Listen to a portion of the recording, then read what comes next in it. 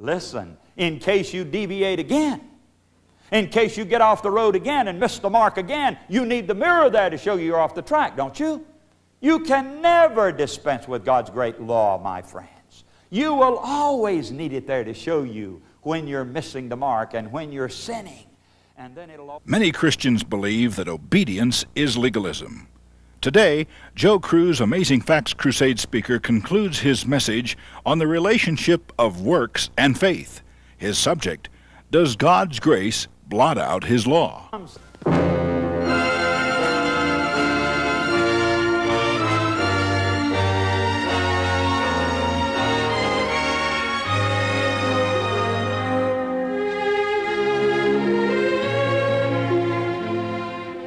Now let's read this verse uh, in Romans 6 and verse 14 once again very, very clearly.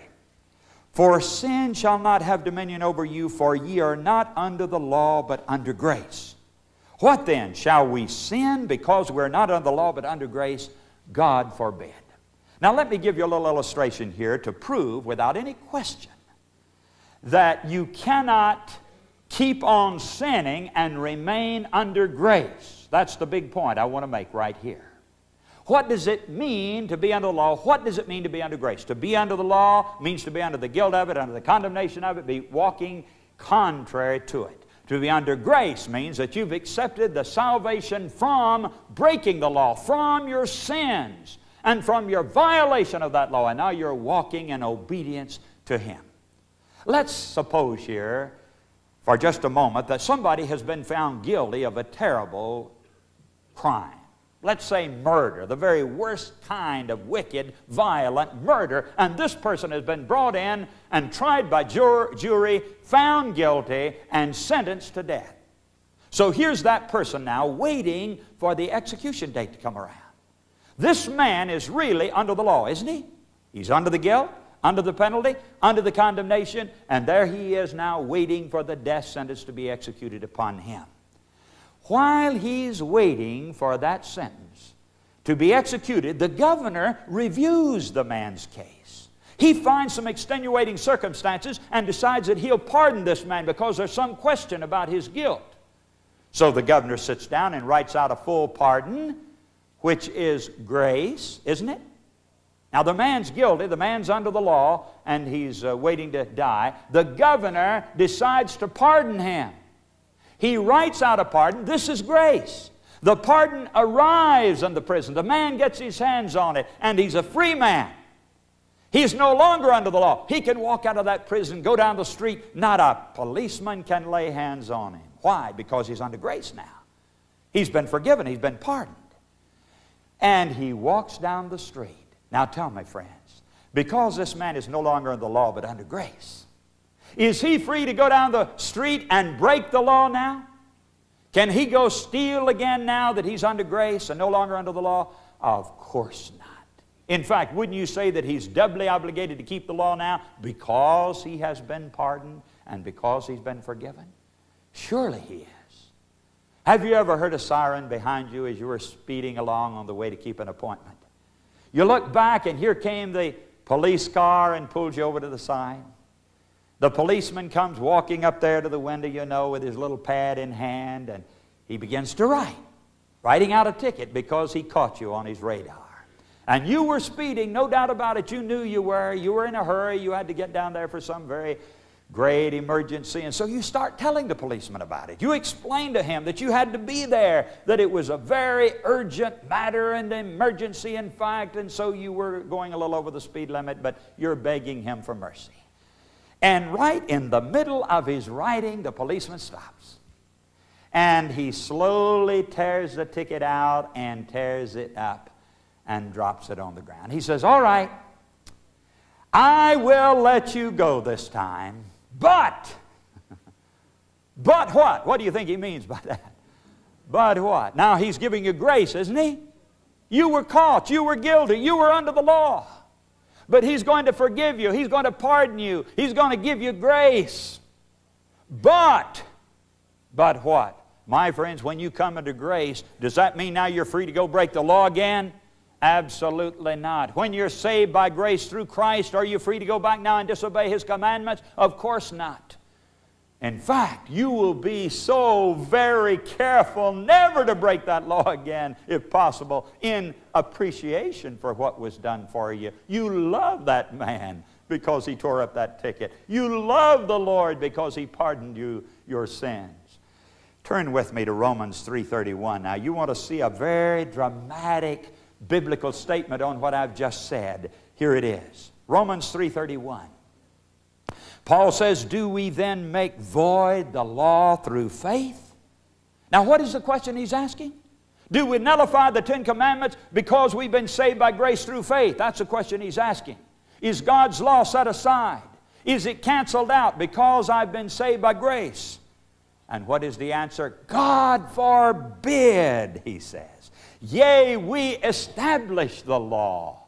Why, he says, when you are saved by grace through faith, the law becomes stronger for you. It becomes more important for you to keep the law. Forbid, he said, God forbid that you should go out there and think you can now break it just because you have become a Christian. Now, somebody uh, might say, well, uh, Brother Joe, uh, after we come to Christ, after the law points out our sins and brings us to the foot of the cross where we get cleansing and pardon, we don't need it anymore. It has fulfilled its function now. And we can go down the road without the law. We don't need it anymore. Oh, no, friends. Listen, in case you deviate again, in case you get off the road again and miss the mark again, you need the mirror there to show you you're off the track, don't you? You can never dispense with God's great law, my friends. You will always need it there to show you when you're missing the mark and when you're sinning. And then it'll always point you back to the place where you can get pardon and cleansing for your sin. Listen, you don't keep the law in order to be saved. You keep it because you are saved. You see, the law points out sin. Grace saves you from sin. The law is the will of God. Grace is the power to do the will of God. Now, did you follow that? Let me read you the text that actually has both law and grace in the very same verse. It's found in Revelation chapter 14. Revelation 14 and verse 12. Here is the patience of the saints. Now, he's pointing out God's people. He's pointing out those who were saved. Here's the patience of the saints. Here are they that keep the commandments of God. There's the law, isn't it? And the faith of Jesus. There you have faith. There you've got grace. Those who are saved, my friends, and are going to meet the approval of God, keep His law, and they also have faith in Jesus, they're saved by grace. Law and grace in the same text. Somebody may say, Well, I thought you said, though, that you're not saved by works, and and you, the law isn't going to justify us, then why do we have to worry about it? Why do we have to keep it if it's not going to save us, if it doesn't have anything to do with our redemption? Well, now, friends, I told you that we're not, we're not uh, uh, saved by works. Of course not. But are we saved without works? No, no. The Bible said that we're saved for good works. You keep it because you're saved.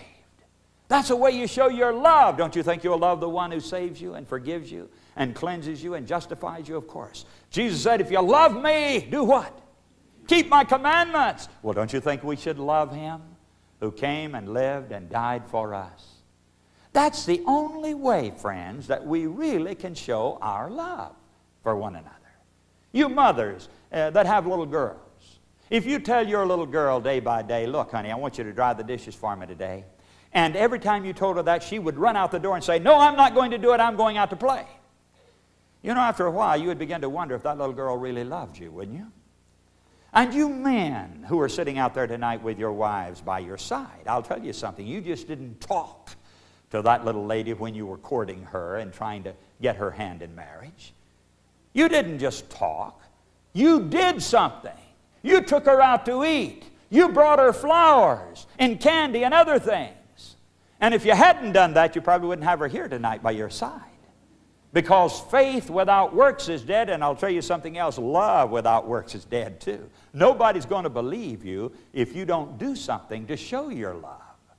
Now let's turn to 1 John 2 4 and read that very thing in the Bible. 1 John 2 4. This is a text I don't even like to, uh, uh, to quote because uh, it sounds bad uh, if I try to quote it. I like to read it exactly like it is in the Scriptures. He that saith, I know him, and keepeth not his commandments is a liar, and the truth is not in him. Isn't that something, friends? That's strong. The Bible says if you claim to be a Christian and you don't keep his commandments, you're lying. You don't really love him. Well, isn't that what Jesus said? If you love me, do what? Keep my commandments. Of course. And uh, if we really love him, that's what we'll do. And if you find a person who claims to be a Christian and who's walking in disobedience and violation of God's law, I'll tell you one thing that man doesn't have a saving relationship at all with Christ.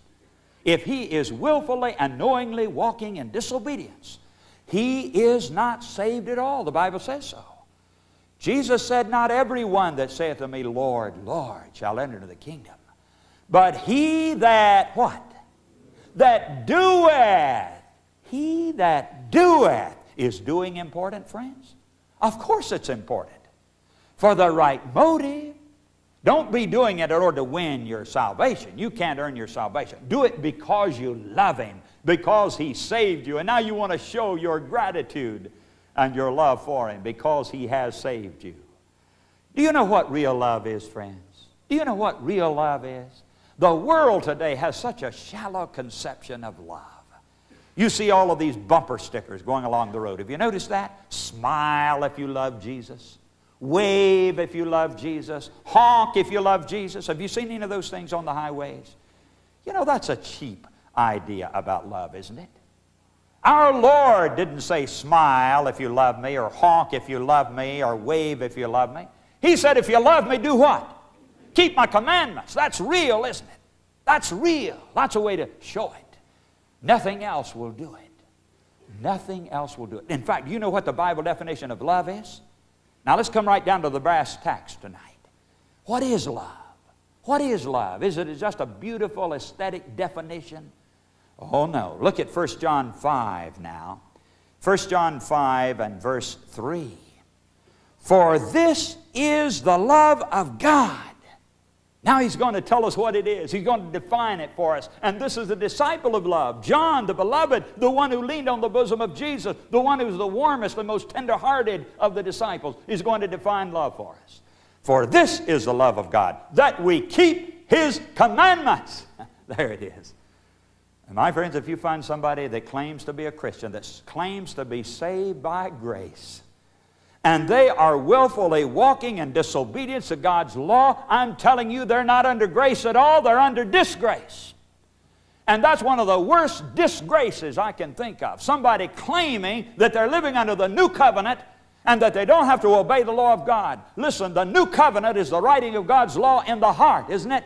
We're going to be talking about this on one of the programs soon. Of course it is. It's the writing of God's law in the heart. And anybody that claims they don't have to keep that law and believes that they're still under grace and under the new covenant, they don't understand what it's all about.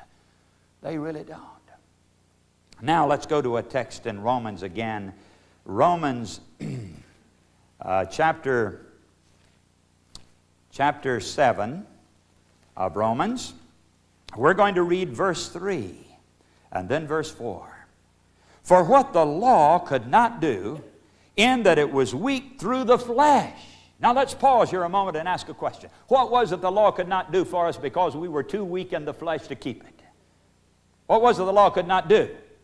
It couldn't save us, could it? It could not justify us because we were too weak anyway in the unconverted state to obey it.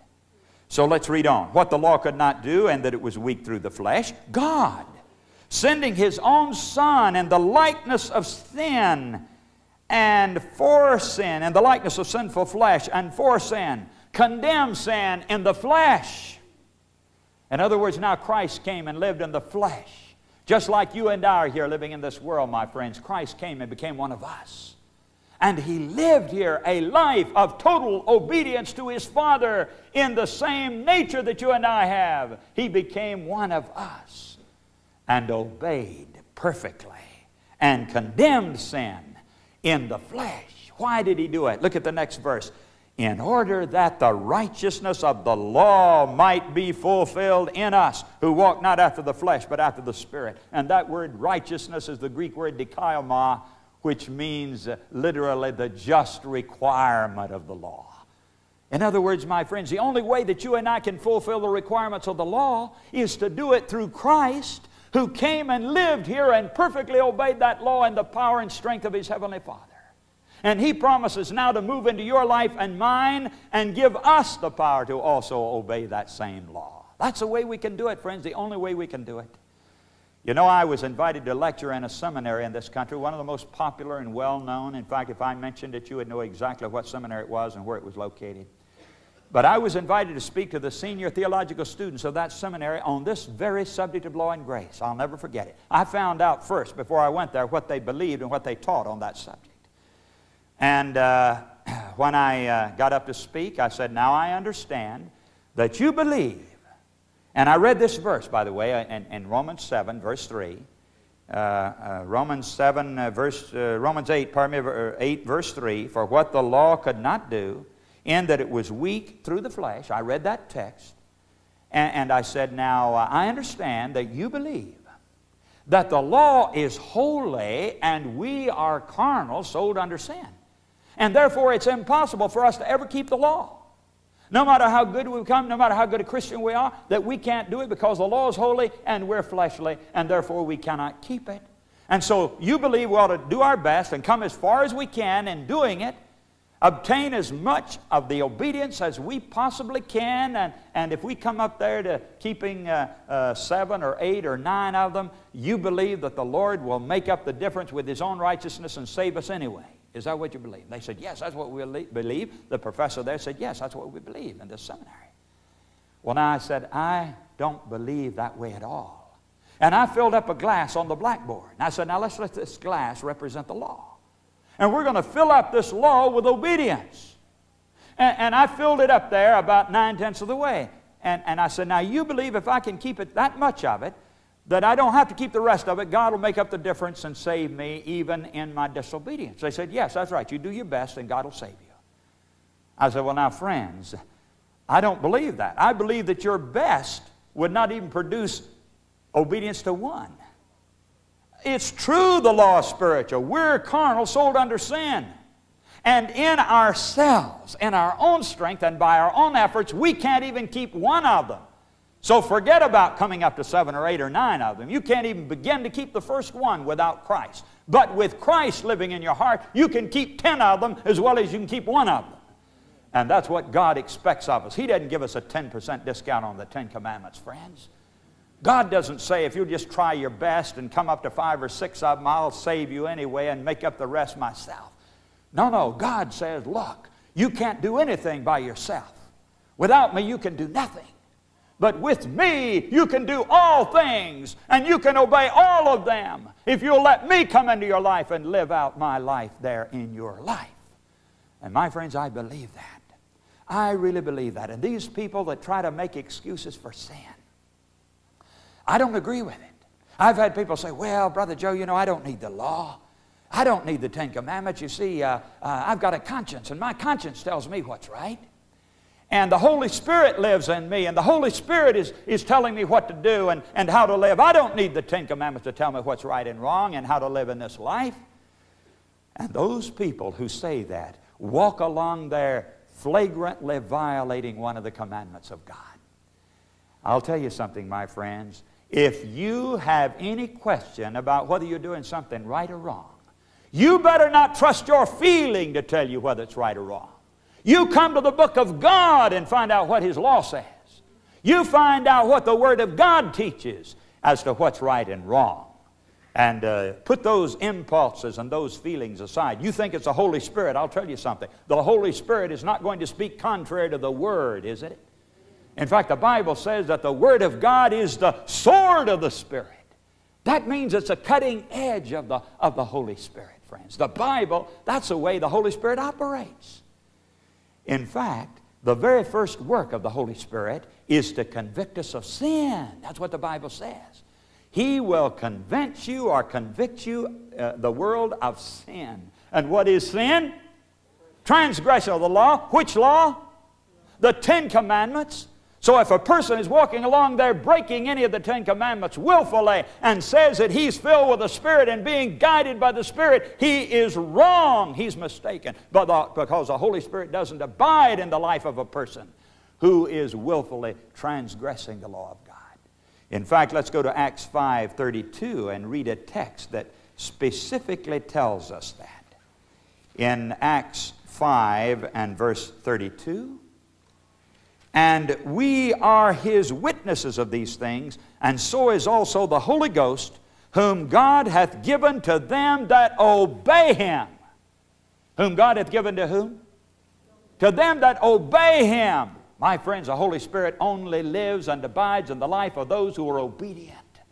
And when we turn away from keeping His law, the Holy Spirit cannot live there, cannot abide there. In fact, there's a text of the Bible in the Old Testament, in the book of Proverbs, that says that a man, well, let's go read it. What is it? Proverbs 28. Let's find it. I believe it's 28 and verse 9. Here's another one that I don't like to try to quote because it's such a solemn, serious text.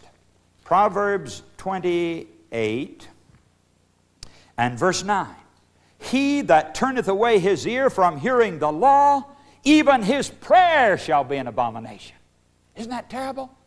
If a man refuses to walk in the light of God's revealed will in His holy law, the Bible says that his very prayer becomes an abomination before God.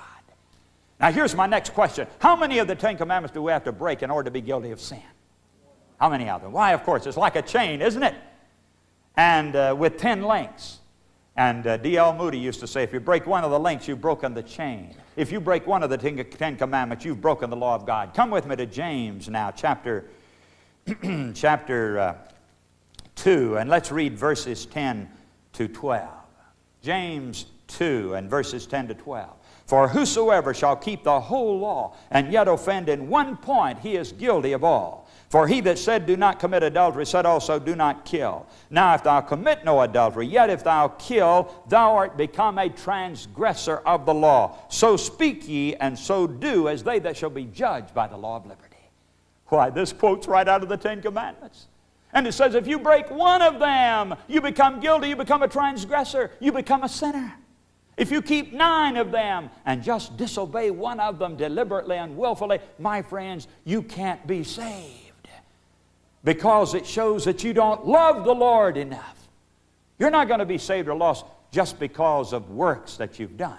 You'll be saved or lost, my friend, because you don't love Jesus enough.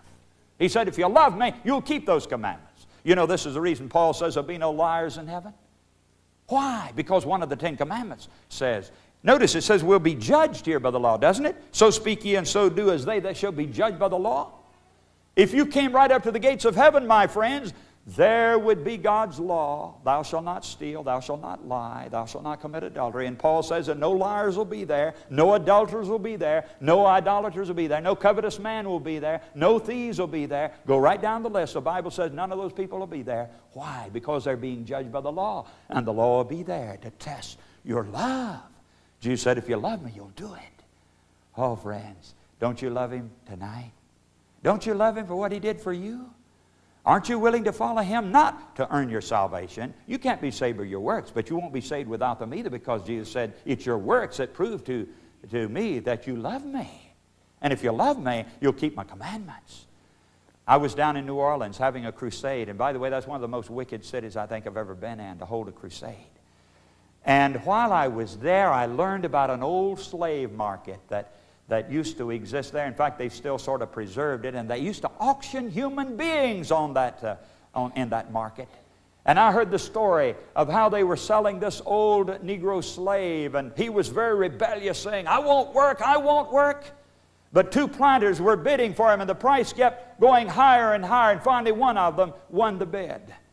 And then he took the old slave into the wagon, and they started back to the plantation. But all the way out there, he said, I won't work, I won't work.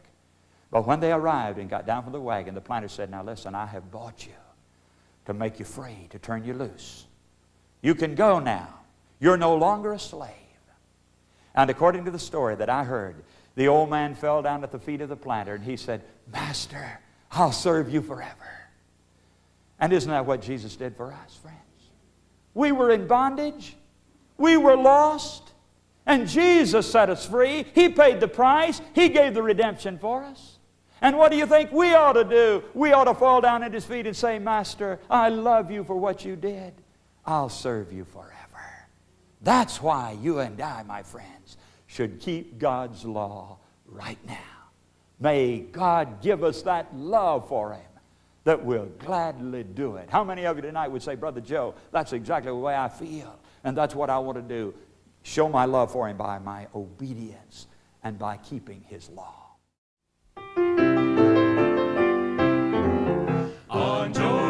Stormy banks I stand